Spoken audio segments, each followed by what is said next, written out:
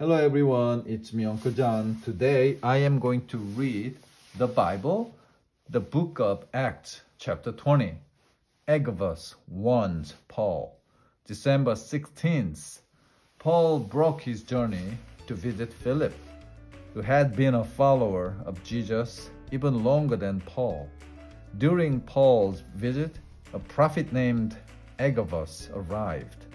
The Agabus took Paul's belt and tied it round his own hands and feet. If you go to Jerusalem, this is what will happen to you. Agabus told Paul, You will be captured by Jews and handed over to the Romans.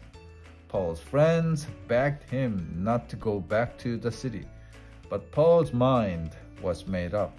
I am prepared to die for Jesus, he said. With that, he set off again.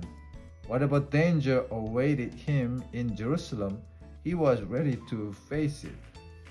The end.